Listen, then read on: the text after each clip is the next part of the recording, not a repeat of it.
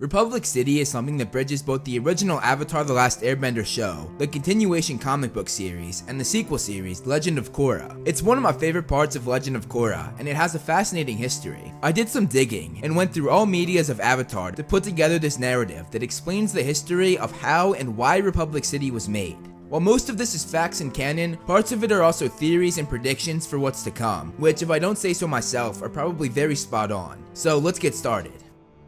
As I said, the origin of the city dates all the way back to the original show, as well as the continued comic book series after the show ended. After the 100 year war ended in the finale of the last Airbender series, Team Avatar and Zuko, who was now Fire Lord, came up with the Harmony Restoration movement. This would undo what Zuko's grandfather Sozin and his father Ozai had done when they led the Fire Nation to take land that belonged to the Earth Kingdom. The Harmony Restoration Movement would return the Fire Nation colonies, or the parts of land that the Fire Nation took over, back to the jurisdiction of the Earth Kingdom, forcing the Fire Nation citizens that lived there to go back to the Fire Nation. Zuko was all on board for this. However, when Yu Dao was brought into the picture, everything changed. Yu Dao was the oldest of all of the Fire Nation colonies, and the Fire Nation citizens that lived there refused to give it back to the Earth Kingdom. Just to give a bit of history on the Yu Dao colony, so we can understand that both sides have fair arguments as to why the colony should stay or go. Yu Dao was a very poor Earth Kingdom village until Fire Nation settlers came to the area. Together, both the Firebenders and the Earthbenders lived and worked together, and with the combination of the two, they were able to make the finest metal of any nation. They turned the poor village into one of the richest cities in the world, and became one of the Fire Nation's greatest assets, despite it not being in the actual Fire Nation territory.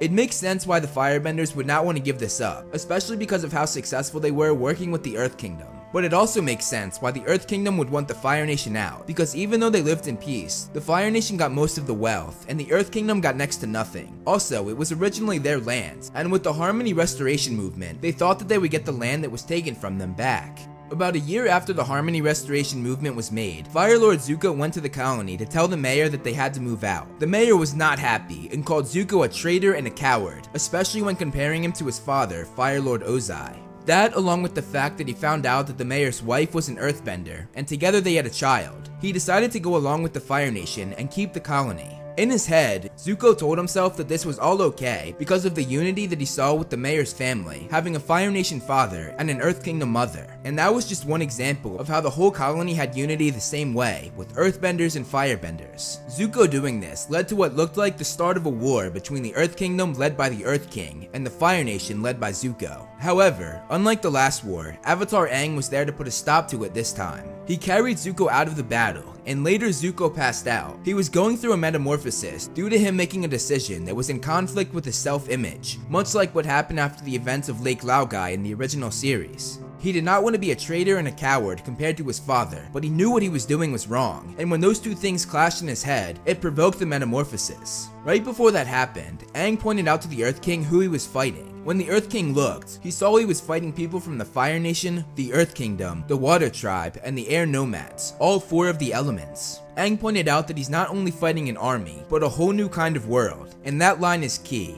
a whole new kind of world. Aang took Zuko to his uncle's tea shop while he was going through the metamorphosis, and Zuko slept for 4 days, clearing his head and making him finally see reason. Both Zuko and Aang agreed that Yu Dao could not continue to be a Fire Nation capital, but also that it couldn't go back to being an Earth Kingdom city either. They knew that it had to become something new.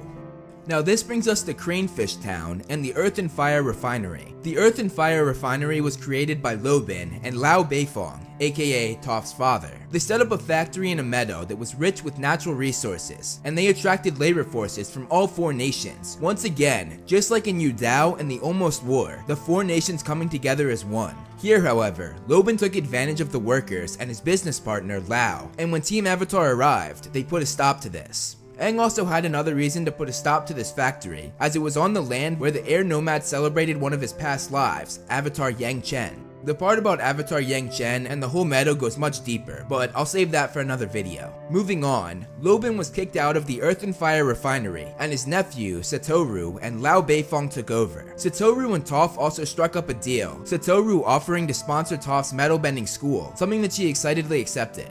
They went on to build a new factory in the shores of the Western Earth Kingdom, right next to Yu Dao. Eventually, that place was named Cranefish Town, named after the fish that surrounded the land. They started with one street and three shops that supported the Earth and Fire refinery, but it quickly grew faster than anyone could have ever expected. By the time Team Avatar came back, it had grown rapidly, Sokka even saying that they could fit 10 Yudaos inside of it. Earth and Fire Industries was the first factory, but quickly there were dozens more created, making the city extremely large and very profitable. However, there were many problems, especially because there was no government. All they had was a business council, but they could not control all of the violence going on in the city. Benders from other nations fought each other very often. This also made the non-benders living there scared and angry at the benders. This went even farther when benders came to the city looking for work, but when the factories could not employ every bender looking for a job, the unemployed benders turned to a less honest means of using their abilities to attack and steal from non-benders. While Aang was there, he pushed forward the idea of having a police force, which I'll talk about in a minute. Aang also discovered an island in the middle of a bay while he was there, something that again would play a part in the future, which again I'll talk about in a minute.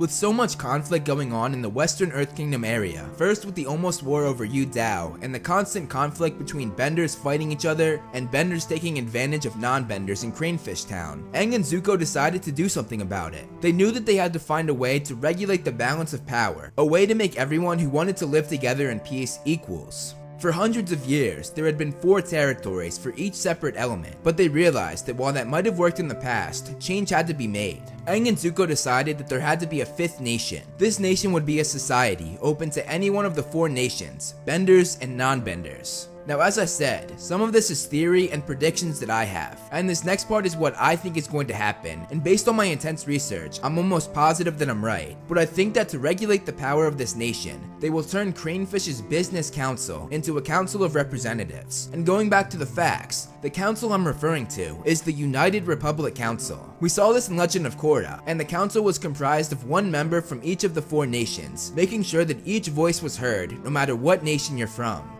We know from Legend of Korra that shortly after the United Republic Council was formed, Republic City followed not too long after that. Bringing everything full circle, Yu Dao merged with Cranefish Town to make one huge city that was renamed Republic City. While the United Republic Council kept order in the government, they needed something else to calm down the violence and crime in the city. This is another prediction and theory that I have, so this part is not canon.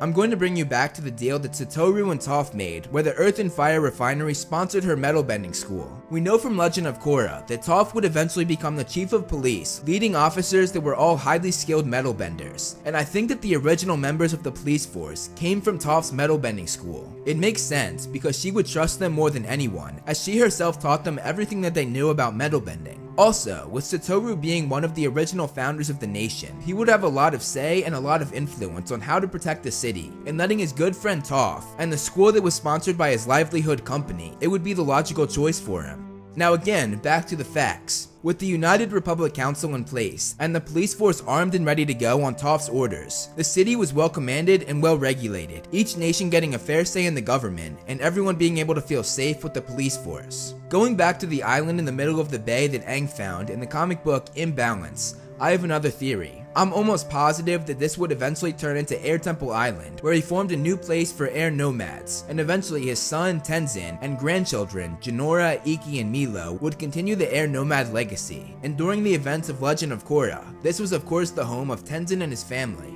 Now let's dive into the actual city and what was inside of it. They had downtown, which is in the center of the city. This is where they had most of the big shops and stores, and where Korra beat the crap out of those benders in season 1. They also had Republic City Park, which was much more open with fields and trees. This would later be renamed as Avatar Korra Park later on in the Legend of Korra series. They also had City Hall, where most of the government was located, and of course where the United Republic Council was based. They also had the police headquarters where Toph and her metal benders were located, and eventually a large statue of Toph would be put up in the entrance of the building in her honor. And of course we know that Lin Beifong, Toph's daughter, took over her mother's job as chief of police. The port was another big area. Here, supplies and necessities from the other nations would be delivered, and it was also where the city's factories would ship out their goods to the other four nations. The city would also become the home of the sport pro bending, and a giant pro bending arena was built on the edge of the city next to the water. It was made of solid gold, and was one of the most popular spectacles that the city had to offer.